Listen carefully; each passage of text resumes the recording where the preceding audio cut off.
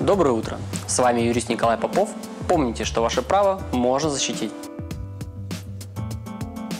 Мы живем в частном доме в селе. Дом купили в 1997 году у дальних родственников. После покупки оказалось, что 2 метра участка при составлении земельных паспортов в те годы остались у соседей. Теперь окно одной спальни выходит в соседский огород. С появлением новых соседей у нас появились проблемы в обслуживании своего дома с этой стороны. Попасть к соседям на участок можно только с участковым или главой поселения. Девочка-подросток постоянно плотно зашторены окна, так как оно выходит прямо в огород соседям.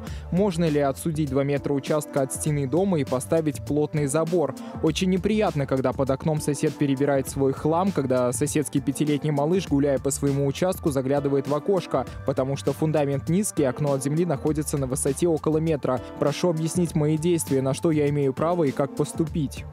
Есть несколько вариантов решения проблемы. Выбрать наиболее верный можно только при анализе документов. Приведу два возможных способа решения вашего вопроса. Первый – это подать исковое заявление об уточнении границ земельного участка с указанием на кадастровую ошибку, так как если дом был построен по закону и существует на местности до установления границ земельных участков, то при их определении кадастровый инженер был обязан отступить определенное расстояние от строения.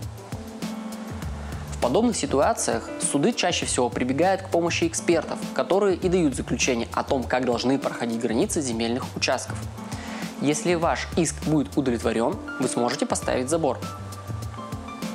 Второй способ – это установить сервитут, то есть право ограниченного пользования земельным участком в целях эксплуатации объекта недвижимости, то есть вашего дома.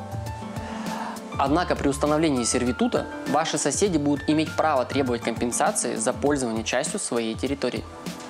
Задавайте ваши вопросы по телефону, которые видите на экране с 10 утра до 7 вечера также вы можете посмотреть этот и другие мои ответы еще раз на сайте 1obl.ru. И хорошего вам дня!